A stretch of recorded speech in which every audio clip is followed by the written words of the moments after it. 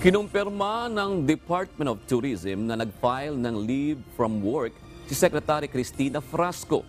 Gayunman nilinaw ng DOT na na-file na ito ng kalihim bago pa man pumutok ang issue sa kontrobersyal na Love the Philippines Tourism Ad.